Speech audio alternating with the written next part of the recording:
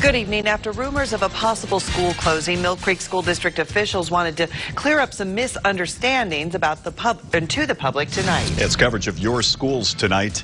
Tiara Braddock was at the district's first Focus on Our Future town hall meeting. She joins us now in the control room with more on what they had to say tonight. Tiara.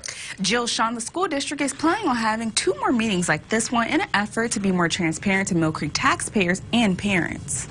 The Millcreek School District opening up about their finances and enrollment numbers to taxpayers and parents. This all taking place at their first Focus on the Future Town Hall meeting. Everything that they talked about was kind of general big numbers. Um, I'm sure a lot of people are worried about school closings and things of that nature. Dan Pierce has four children in the Millcreek School District. He says he thinks the district is trying to push people's concerns off without giving any real answers.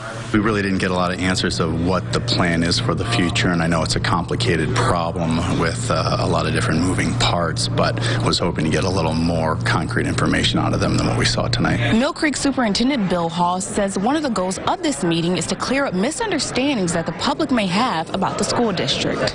We wanted to report directly to people and provide accurate information and answer questions, and I think I think it went pretty well, and I'm, I'm looking forward to the next two.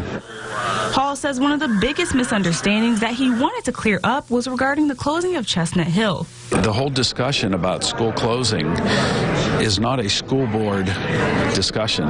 It's a committee that's been put together by myself to start to look at scenarios that we might have to we might have to look at.